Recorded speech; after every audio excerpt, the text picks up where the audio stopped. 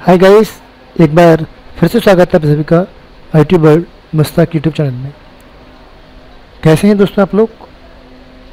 Corona का प्रकोप बहुत ज़्यादा हो रहा है तो आप लोग घर में ही रहें सेफ़ रहें। और आज हम एम एस एक्सल के मतलब चार्ट वगैरह सीख चुके हैं और जिन लोगों ने नहीं सीखा है तो पुराने वीडियो में सीख लें। और डे टेन में मैं आपको आज स्पार्क लाइन का यूज़ सिखाऊँगा। स्पार्क लाइन का यूज़ करने के लिए याद रहे कि स्पार्क लाइन को समझने के लिए पहले आप चार्ट और पाइवट टेबल जो होती हैं उनको समझ लें। उसके लिए आप हमारी पुरानी वीडियोस को देख सकते हैं और देखने के बाद, वहाँ सीखने के बाद ही आप इस वीडियोस पे आएँ। ठीक है? स्पार्क लाइन का इस्तेमाल कैसे करते हैं? चलिए शुरू करते हैं। ये मैंने एक फ़ाइल ओपन कर ली है। जिस प्रकार से मैंने फ़ाइल बनाई है, वैसे आप भी एक कंप्यूटर पर फ़ाइल बना लीजिए। इसमें मैंने ब्रांड के नाम जो नेम है एल जी सैमसंग वगैरह और जनवरी फरवरी मार्च अप्रैल मई ये मान के चलिए इनकी सेल रिपोर्ट है। मैं यहाँ पर एक रो मंगा करके इसे मर्ज कर देता हूँ और यहाँ पर आ, सेल्स रिपोर्ट याद रहेगा कि अपन को यहाँ पे सेल्स रिपोर्ट अपन बना रहे हैं ठीक है? इस प्रकार से मैंने बना दिया। अब अगर यहाँ पे आप देख के समझ रहे होंगे कि LG ब्रांड में जनवरी में हमने 20 पीस की सेलिंग की है, फरवरी में पाँच, मार्च में ये है, अप्रैल और मई। सबसे ज़्यादा हमने अप्रैल में की है। सैमसंग की जनवरी में, फरवरी में, मार्च में अलग अलग महीने की सेलिंग है Panasonic real M I Micromax और लाभा सभी की यहाँ पे अलग अलग सेलिंग दिखाई गई है पाँच महीने की। अब हमारे पास इंसर्ट मेन्यू में जो स्पार्क लाइन जो ऑप्शन है, ये। इसे हम सीखने वाले हैं और यहाँ पर जो हमारे पास जो इसे यूज़ करने के तरीके हैं, वो दो तरीके हैं। हम पे डिपेंड करता है कि हम अपनी रिपोर्ट को किस तरीके से शो करना चाहते हैं, दिखाना चाहते हैं। जैसे कि आप देखेंगे, मैं यहाँ पे क्लिक करूँगा, इस जगह पे अगर। तो मैं चाहता हूँ कि LG जो प्रोडक्ट है उसकी मंथली प्रोग्रेस क्या है? हर महीने कहाँ सेलिंग कम ज़्यादा हो रही है? उसको हम देखना चाहते हैं ग्राफ के रूप में। इस पूरी को मंथली प्रोडक्ट एक ही है और महीने अलग अलग हैं। तो यहाँ पे हम रोबाइस काम करेंगे और यहाँ डाटा दिखा लेंगे। लेकिन अगर ये कहा जाए कि भाई मेरे को जनवरी के महीने में सारे आइटम की रिपोर्ट चाहिए। यानी कि महीना एक ही है, लेकिन आइटम अलग अलग हैं। तो हम इस जगह पे इसको शो कर सकते हैं। कैसे करते हैं अभी आपको प्रैक्टिकल में? देखिए, समझ में आएगा। मैं दोनों ही तरीके बताऊँगा आपको। पहले सिखाता हूँ रो वाले में। यहाँ क्लिक करता हूँ। यहाँ आपको जो ग्राफ मंगाना है वहाँ। अब लाइन पे क्लिक कीजिए और देखिए ये आ गया डाटा रेंज यहाँ पे आपको वो रेंज चुननी है जिसको आपको मतलब ग्राफ में दिखाना है। ये आपकी लोकेशन है, जो कि दिख रही है यहाँ, पहले से ही आ रही है। अब आप ओके कर देंगे तो ये लाइन आ चुकी है। स्पार्क लाइन आ चुकी है। फिर देख लीजिए क्लिक किया इंसर्ट में गए लाइन पे क्लिक किया रेंज को सिलेक्ट किया, और यहाँ क्लिक करके इसकी जो लोकेशन है जिसकी रेंज चुन ली। जी लोकेशन भी आ गई। ओके किया, ये आ गई। हम इसको पकड़ के ड्रैग करेंगे तो ये पूरे में ऑटोमेटिकली कॉपी हो जाएगा। तो ये आपके सामने जो बन के आई हैं, ये स्पार्क लाइन कहलाती हैं। इसको थोड़ा सा जूम कर देता हूँ और थोड़ा सा और ऊँचा करता हूँ, ताकि आपको क्लियरली समझ में आएगा। मैं होम में गया फॉर्मेट में जाके रो की हाइट जो पंद्रह है, उसको मैं पच्चीस कर देता हूँ। ये देखिए, मैं इसको, ये देखिए, यहाँ पर हम देख पा रहे हैं कि इस जगह पर ये जो एलजी का प्रोडक्ट है प्रोडक्ट है, उसकी सेलिंग प्रोग्रेस दूसरे महीने में नीचे हुई, फिर बड़ी है, फिर और बड़ी है, फिर थोड़ी कम हो गई। इसके देखो, पहले महीने फिर बड़ी, फिर बहुत ज़्यादा बड़ी, फिर कम हो गई, फिर बिल्कुल थोड़ी सी बड़ी है। तो ये जो प्रोग्रेस है टेन ट्वेल्व देखिए 65 23 25 अगर हम इनकी वैल्यू चेंज करते हैं, मान लीजिए मैं करता हूँ 50 तो देखिए ये ऑटोमेटिकली चेंज हो जाएगा। ये सेम वैसे ही है जैसे कि मैंने चार्ट बताया था।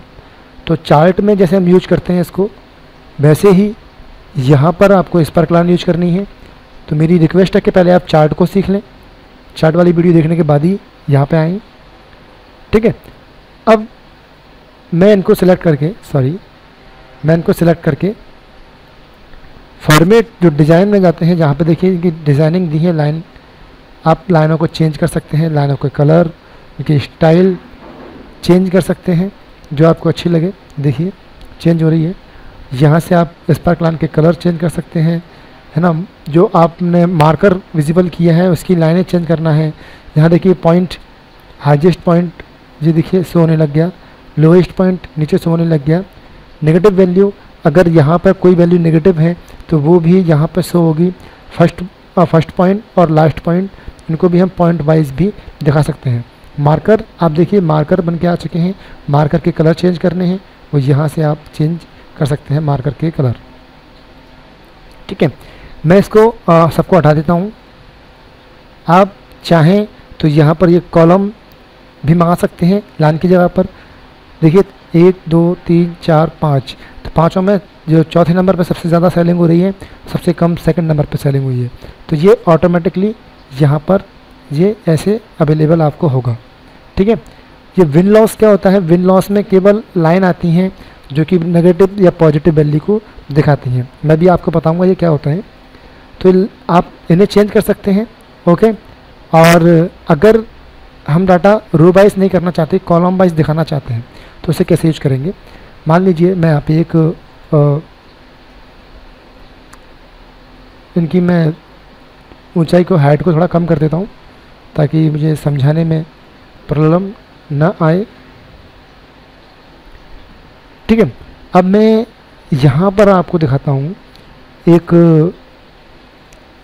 नीचे ले लेता हूँ। इस जगह पर मुझे इनके लिए चार्ट बनाना है।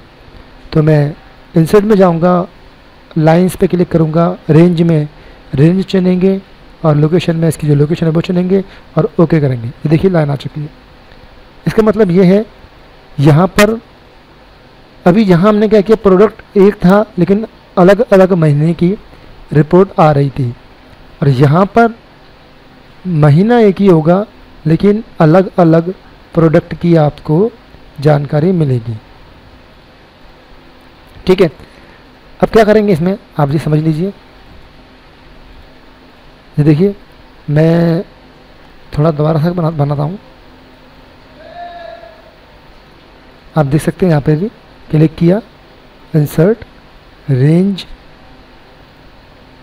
ओके है ना? तो बढ़िया इजीली है ना?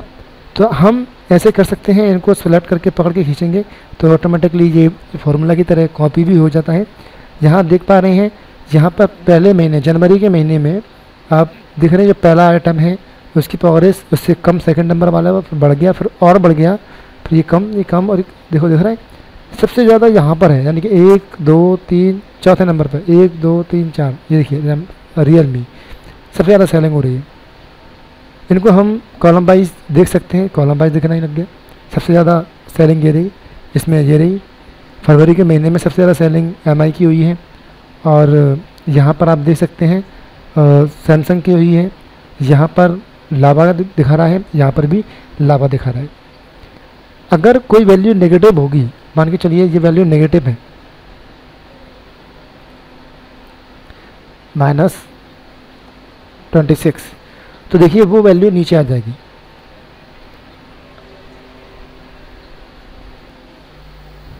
ठीक है दोस्तों तो नेगेटिव वैल्यू जो होती है वो यहाँ पर नीचे आ जाता है। और अगर पॉजिटिव है तो पॉजिटिव रहती है। हम इनकी डिज़ाइनिंग करने के लिए यहाँ जा कर के आप देख सकते हैं हाईलाइट्स दिखा सकते हैं जो हाइजेस्ट हाइजेस्ट वैल्यू है लोवेस्ट वैल्यू है नेगेटिव वैल्यू है। वो रंगन दिखा, दिखानी रंगीन आपको नेगेटिव दिखानी है तो नेगेटिव दिखा सकते हैं, है ना? और ये फ़र्स्ट वैल्यू एंड फ़र्स्ट और लास्ट पॉइंट इनको हम दिखा सकते हैं। यहाँ से इनके कलर अलग अलग टाइप के हैं, वो देख सकते हैं। ये तो अलग अलग स्टाइल्स हम इन पर अप्लाई कर सकते हैं, बहुत ही ईजी तरीके से, है ना?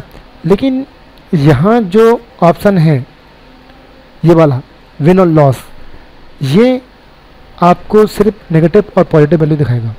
अगर कोई वैल्यू इस कॉलम में ज़ीरो से प्लस पॉजिटिव है तो वो ऊपर लाइन दिखाएगा और नेगेटिव में है तो वो नीचे लाइन दिखाएगा, बस। ये कोई भी लाइन को अप डाउन करके या हाइजेस्ट या लोएस्ट में नहीं दिखाएगा। ये सिर्फ़ नेगेटिव और पॉजिटिव में दिखाएगा, इसलिए इसकी जो लाइन आती हैं वो सेम रहती हैं, बराबर रहती हैं। ठीक है? तो ये लाइन्स यूज़ करना चाहते हैं तो लाइन्स का इस्तेमाल कर लीजिए। कॉलम्स यूज़ करना चाहते हैं तो कॉलम का इस्तेमाल कर लीजिए। और विन और लॉस का इस्तेमाल करना चाहते हैं तो इसका इस्तेमाल करके भी हम अपने ग्राफ के रूप में चार्ट जैसी संरचनाएँ दिखा सकते हैं। इसमें अगर कोई रेंज बढ़ जाती है जैसे कि मैंने ये नीचे बनाया है तो मैं गलती की बना करके मैं इसको ज़रा यहाँ से हटाता हूँ। मैं आपको अभी फिर से बताऊँगा कैसे करना है। मान के चलिए, ये आपने ऊपर की लाइन में एक रो ली और यहाँ पर आपने स्पार्क लाइन को मंगाया है। जी रेंज ले लिया आपने और ये रेंज लेने के बाद इसकी लोकेशन भी आपने ले ली। और ओके कर दिया। इस पर लाइन आ चुकी है। इस लाइन को आप ड्रैग कर सकते हैं। इसे थोड़ा सा चौड़ा कर देती है और ये कॉलम्स में मंगा सकते हैं। ठीक है? तो कॉलम्स मंगाने के बाद अब आप देखिए मान के चलिए बाई चांस यहाँ पे आपने कुछ आइटम बढ़ा दिए आपने बाद में इसमें आ, कुछ ऑप्शन जैसे कि आपने पोको है ना? और भी वैसे मोबाइल आते हैं पता नहीं कौन कौन से वन प्लस ठीक है तो इनकी भी आपने वैल्यू डाल दी किसी की बीस, इस महीने में, इस महीने में, तेईस, इस महीने में चार तैतालीस, पच्चीस, ये आपने इस महीने डाल दी। फिर आपने इस महीने में इसकी सेलिंग डाल दी। ठीक है, अब आप देखेंगे कि यहाँ पर जो दिख रहा है ऊपर, वो कम आ रहा है। तो अभी हम इसको क्या करेंगे? इसकी रेंज को बढ़ाने के लिए डिज़ाइन में जाएँगे और एडिट रेंज पर क्लिक करेंगे। एडिट रेंज पर क्लिक करने के बाद आप एडिट ग्रुप लोकेशन पर जाएँगे और जो इसकी जो रेंज है, उसको आप फिर से रिसेलेक्ट कर लेंगे नीचे तक। ठीक है? और ओके कर देंगे। जैसे आप ओके करेंगे सबकी ऑटोमेटिकली वैल्यू या चार्ट या ग्राफ चेंज हो जाएगा। आपको किसी के भी बढ़ाने की, कम करने की ज़रूरत नहीं है। वो ऑटोमेटिकली ले लेगा। ठीक है? तो हम इस प्रकार से आ, किसी चार्ट वगैरह की रेंज को भी यहाँ से एडिट कर सकते हैं। अगर edit single line single spark line change करनी है केवल एक लाइन को ही चेंज करना है एक कॉलम को ही तो केवल एक कॉलम को ही चेंज कर सकते हैं केवल। ठीक है? जो चना होगा केवल उसी का चेंज होगा। पूरा करना है रेंज तो ग्रुप जहाँ से होगा। Hidden hide and hide empty cell कोई सेल एम्पटी है तो उसको हाइड अन हाइड भी कर सकते हैं अपन, ठीक है? तो ये लाइन को सीखा हमने लाइन स्पार्क लाइन मंगाने के लिए कॉलम ग्राफ की तरह मंगाने के लिए, और ये विन लॉस टेबल नेगेटिव और पॉजिटिव वैल्यू दिखाने के लिए। इस बाकी के इसमें हम हाईलाइट्स कर सकते हैं high point low point first point last point वगैरह को हाईलाइट करना है नेगेटिव वैल्यू हाईलाइट करना है तो कर सकते हैं, ठीक है? और ये बहुत ईजी है। अब बारी आती है इनको हटाने की। अगर आप कोई स्पार्क लाइन मंगाते हैं और क्लिक करके आप कीबोर्ड से डिलीट की दबाते हैं डिलीट तो कुछ नहीं होता, ये डिलीट नहीं होती हैं। इनको डिलीट करने के लिए ज़रूरी है कि आप डिज़ाइन पहले तो सेलेक्ट कर लीजिए, फिर डिज़ाइन टैब में जाएँ और यहाँ पर क्लियर वाले ऑप्शन में क्लियर सेलेक्टेड स्पार्क लाइन या सेलेक्टेड स्पार्क लाइन ग्रुप्स किसी पे भी क्लिक करेंगे तो वो सिलेक्टेड हट जाएगा और पूरा ग्रुप हटाना चाहते हैं तो यहाँ जा करके ग्रुप वाले से भी पूरे ग्रुप को हटा सकते हैं। इस प्रकार से हम स्पार्क लाइन को हम बड़ी इजी तरीके से डिज़ाइन में जाके यहाँ से क्लियर भी कर सकते हैं, ठीक है? आप पहले चुन लीजिए उसको। चुनने के बाद डिज़ाइन स्पार्क लाइन और ग्रुप तो ये ऐसे डिलीट हो जाएगा। तो हमने स्पार्क लाइन को बनाना सीखा। स्पार्क लाइन को उसमें मॉडिफाई करना सीखा डिज़ाइन करना सीखा।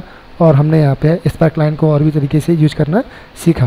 बाकी की चीज़ें बची हैं फ़िल्टर लिंक वगैरह जो मैं पहले एम एस में सिखा चुका था, लेकिन फिर भी मैं आपको बता देता हूँ ताकि ये इसी वीडियो में कवर हो जाएगा, बाकी की नई चीज़ें हम नई वीडियो में सीखेंगे। स्लाइसर क्या होता है? अगर आप किसी भी कॉलम को सेलेक्ट कर लेते हैं और सेलेक्ट करने के बाद आप जब ऐसे सेलेक्ट कर लेंगे और स्लाइसर पर क्लिक करेंगे तो ये एक बॉक्स सामने आएगा, ये फ़िल्टर की तरह होता है। फ़िल्टर की तरह, एक बॉक्स सामने आएगा। यहाँ से आप सॉरी आप पहले इसको टेबल में कन्वर्ट करना पड़ेगा। इसको आप टेबल में कन्वर्ट कर लीजिए। कन्वर्ट करने के बाद आप इंसर्ट में जाएँ स्लाइसर पे जाएँ। ये बॉक्स सामने आएगा। ये बॉक्स आने के बाद आपको किसमें स्लाइसर बनाना है?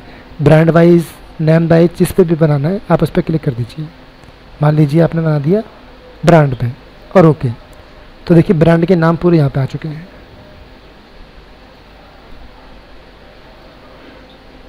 अब आप इससे क्या करेंगे जो फ़िल्टर की तरह काम करता है। आप करेंगे एलजी पे क्लिक तो केवल एलजी का डाटा सामने आएगा माइक्रोमैक्स देखिए, केवल उसी उसी का डाटा सामने आएगा जिस पर क्लिक करेंगे।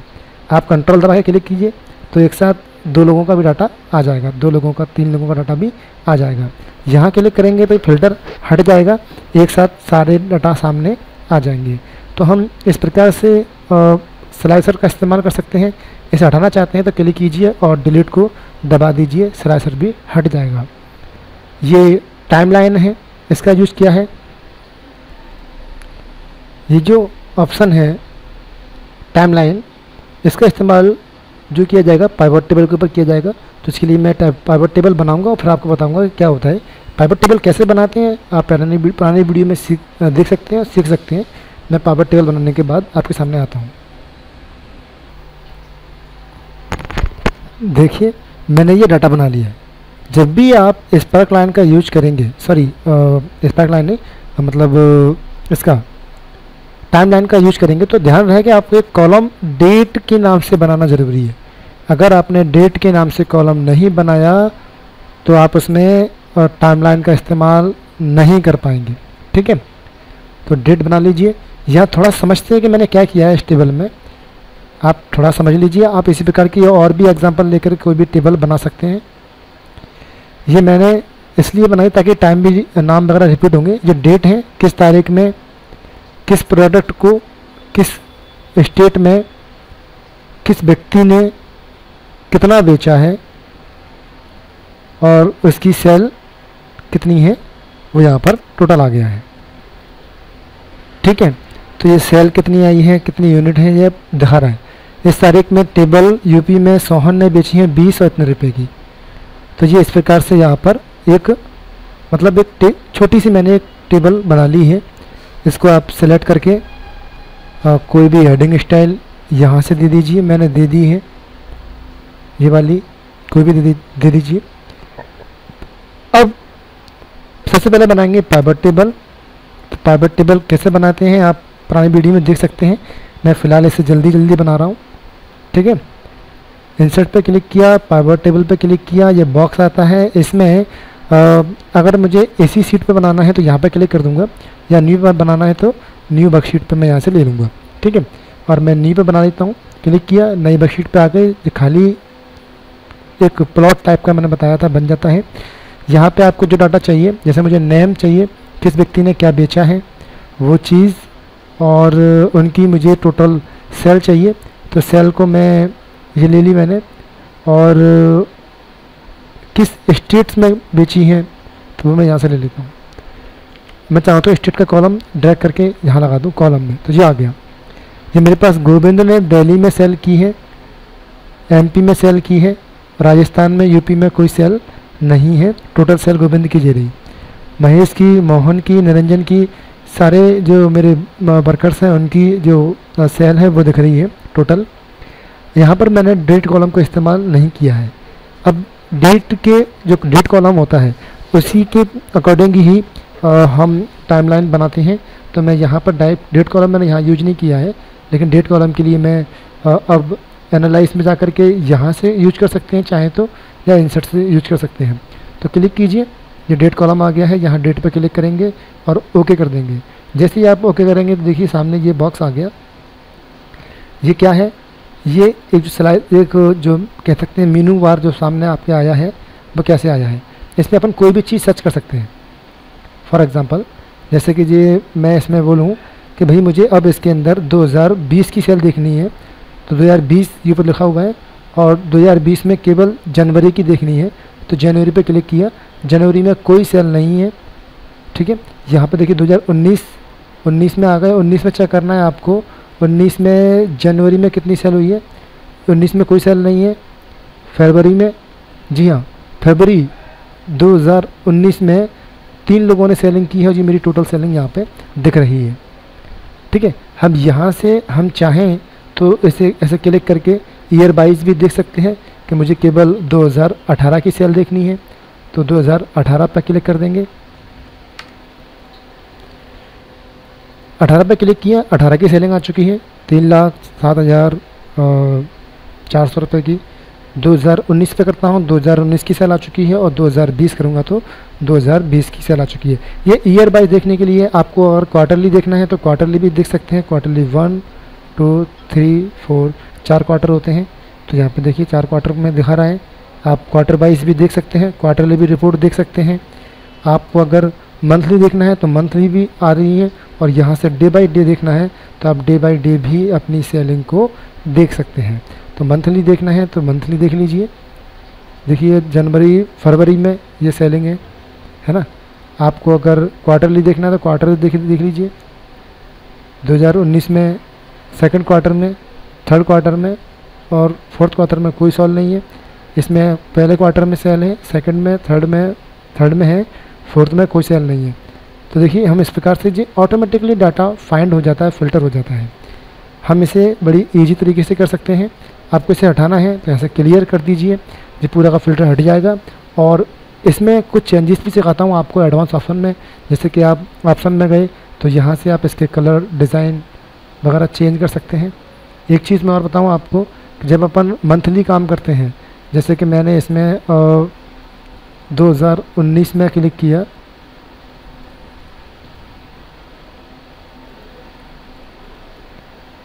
दो हज़ार उन्नीस फेबरी तो देखिए फेबरी में कोई आ, सेलिंग है हम इसे पकड़ के खींचेंगे तो मार्च अप्रैल तीन महीने की सेलिंग आ चुकी है। ये देखिए मई तक कोई नहीं है और केवल जन फरवरी और मार्च की सेलिंग है ना? मार्च और अप्रैल की सेलिंग ऐसे ड्रैग करके भी इसको अपन बढ़ा के देख सकते हैं। दो महीने की, तीन महीने की भी कस्टमाइज़ कर सकते हैं। ठीक है? इसके बाद ये आप जहाँ देखिए, इसे थोड़ा कलरफुल चेंज कर सकते हैं। इसके डिज़ाइन आप लुक वाइज आपको जैसा अच्छा लगे। जो आपको मन को भाए, वो आप यहाँ से यूज़ कर सकते हैं। फ़िल्टर हटा सकते हैं यहाँ से। ठीक है? इसमें ये आप देखेंगे हेडर तो आप देखें ध्यान से, इसमें हेडर गायब हो जाएगा। ये देखिए, ये डेट लिख के आ रहा था, वो हेडर गायब हो गया। मंगाना है मंगा सकते हैं। लेबल ये ऑल पीरियड लिख के आ रहा था वो गायब हो जाता है। ठीक है? स्कॉल बार अगर इसका साइज़ बड़ा है तो ये स्कॉल बार शो करना है हटाना है उसके लिए। और टाइम लाइन जो टाइम लेबल ये टाइम लेबल यहाँ से टाइम लेबल लिखा है मंथ उसको अगर हटाना है शो करना है तो यहाँ से हम इन्हें शो और हाइड कर सकते हैं दोस्तों। जिसकी हाइट और ब्रथ बढ़ाने के लिए तो इसे हम यहाँ से डायरेक्टली कर सकते हैं। इसके अलावा हम इनसे भी प्लस माइनस से भी इसकी आ, मतलब इसकी हाइट और ब्रथ को चेंज कर सकते हैं। इसमें एक चीज़ और दी है दोस्तों तो मैं आपको बता दूँ कि अगर हम एक से अधिक पाइबर टेबल इस्तेमाल कर रहे हैं इस जगह पर तो हम यहाँ से इसका कनेक्शन देख सकते हैं। यहाँ से हम इसका कनेक्शन देख सकते हैं, यहाँ क्लिक करेंगे तो यहाँ केवल एक ही पावर टेबल है, इसलिए केवल एक का नाम आ रहा है, वरना और भी होती हैं। तो हम उन पावर टेबल को इसमें लिंक कर सकते हैं और उनकी लिंक को यहाँ से हटा भी सकते हैं। ठीक है? तो ये इस प्रकार से हमने बनाया। अब इसको हम हटाते कैसे हैं? हटाने के लिए इजीली बॉर्डर पर क्लिक करें और कीबोर्ड से डिलीट प्रेस कर दीजिए, हट जाएगा। पाइबट टेबल हटाना मैंने बताया था। इसको हटाने के लिए आप पाइबट में जाएँगे। डिज़ाइन सॉरी मेरा माउस प्रॉब्लम कर रहा है। डिज़ाइन एनालाइज में गए और यहाँ क्लिक करके आप इसको करेंगे क्लियर ऑल तो आपकी पाइवट टेबल भी हट जाती है। तो इस प्रकार से हम किसी भी एक्सेल के अंदर काम कर रहे हैं तो वहाँ पे पावर टेबल पर टाइमलाइन बनाना सीखा। आज हमने टाइमलाइन बनाना सीखा टाइमलाइन को कैसे अपन कस्टमाइज़ करते हैं, वो सीखा, कैसे उसे हटाते हैं, वो सीखा। ठीक है दोस्तों, बाकी के इसमें जो ऑप्शन दिए हुए हैं hyper link text box symbol वगैरह, जो हम एम एस में सीख चुके हैं, आप उन्हें एम एस की वीडियो में जाकर सीख सकते हैं। आज की वीडियो में इतना ही। Good luck and goodbye